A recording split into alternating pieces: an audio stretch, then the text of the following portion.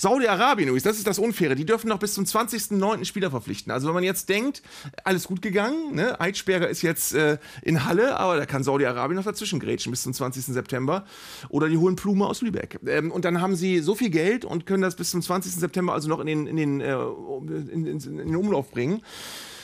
Und das ist auch nicht schön. Oder in England, in Frankreich durfte auch länger. Alles komisches Thema. Deadline Day. Geh mir weg.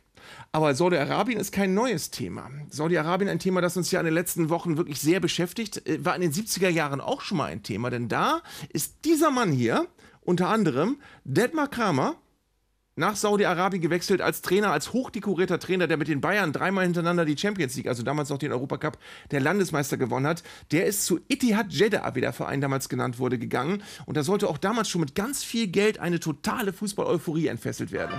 Da ist er wieder, der kleine Napoleon, der Fußballentwicklungshelfer, wie ihn manche genannt haben, Detmar Kramer. Jetzt den König Fußballs neuem Wunderland, Saudi-Arabien. Ittihad, zu Deutsch Eintracht Jeddah, im schwarz-gelb gestreiften Trikot Kramers Mannschaft im Spiel gegen den Tabellenführer aus der Hauptstadt Riyadh. Ittihad, Fünfter, ist der erste FC Nürnberg von Saudi-Arabien. Eine Mannschaft mit viel Tradition und Publikumsgunst, aber seit zehn Jahren ohne Meisterschaftserfolg. Mit Kramer soll das nun anders werden. Kramers stärkste Waffe mit der Nummer 10, Theo Bücker aus Duisburg.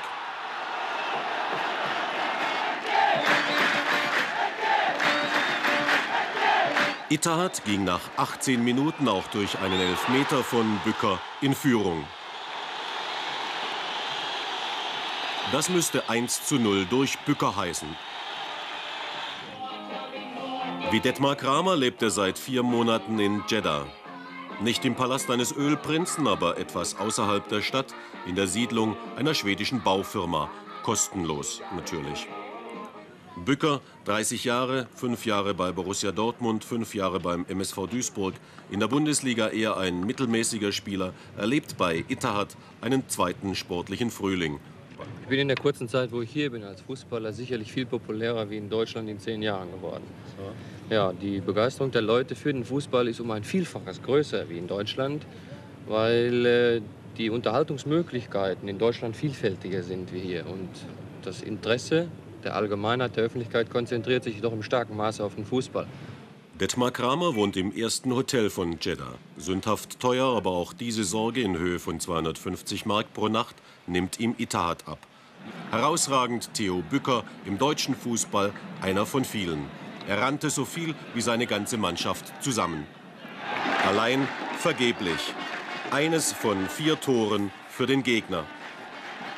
Wir haben heute äh, eine Heimniederlage bekommen mit 4, mit 4 zu 1, aber ich bin trotzdem nicht böse. Ich weiß, dass alle die Jungs, die hier mit mir spielen, dass das praktisch meine kleinen Brüder sind. Und die Fehler, die die machen, dafür kann ich die nicht anmeckern. Und ich weiß, und das haben Sie gesehen, dass ich praktisch alleine bin. Beliebt ist Fernsehen in Saudi-Arabien. Im strengsten mohammedanischen Land sind auch Kino und Theater verboten. Der Fußball hat's leicht hier bei Eintrittspreisen zwischen 3 und 4 Mark. Jeddah hat wenig von Tausend und einer Nacht. Die Stadt vergrößert sich sprunghaft. Das romantische, geheimnisvolle Morgenland ist hier den Petrodollars und den Ölscheichs unterlegen. Fantastisch höchstens noch der Benzinpreis, 12 Pfennig pro Liter. Fantastisch auch die Zahlen, die im Zusammenhang mit Fußball genannt werden.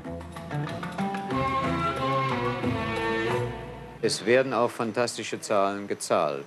Aber außer den Europäern, das ist der Trainer, und das ist Thomas Schöberg von Malmö und Theo Büker von Duisburg, gibt es bei Itahad in Jeddah keine Verträge. Das heißt, die anderen Spieler werden dann, wenn sie das Publikum und die Gönner der Mannschaft zufriedengestellt haben, fürstlich entlohnt und belohnt, aber sie haben keine gesicherten Gehälter. Franz Beckenbauer könnte neidisch werden. Unwidersprochen sind einige Zahlen im Umlauf.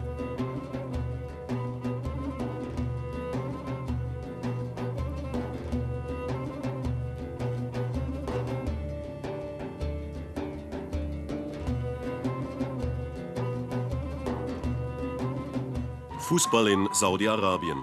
Heiß, leidenschaftlich, lohnend. Im zweiten Spiel der Woche trat Ittihad wieder zu Hause an. Gegner war diesmal eine Mannschaft aus der Pilgerstadt Mekka. Wieder brachte Bücker die Kramer-Truppe mit 1 zu 0 in Führung. Ittihad diesmal erfolgreich. Hier das 2 zu 0. So siegt man auf Arabisch. Hier ist es wirklich schöner zu gewinnen. Wenn man in Duisburg gewinnt, ist das eine alltägliche Sache und hier ist ein nationaler Feiertag. Das ist sehr schön. Trotz Rivellino, trotz Zagallo und der anderen, die noch kommen werden, Zwei Jahre haben sich Bücker, Kramer und Co. gesetzt. Dann soll Ittihad wieder jemand sein im Saudi-Fußball. Allah sei ihnen gnädig. Theo Bücker, ein guter Bundesligaspieler in Duisburg, in Dortmund und auf Schalke. Über 300 Spiele und in Saudi-Arabien wurde er dann ganz spät nochmal zum Superstar. Und der Kramer, dem verdanken wir ja, äh, das war ja ein Intellektueller unter den Trainern, verdanken wir so fantastische Zitate wie, Sie können sich drehen, wie Sie wollen, der Arsch bleibt immer hinten.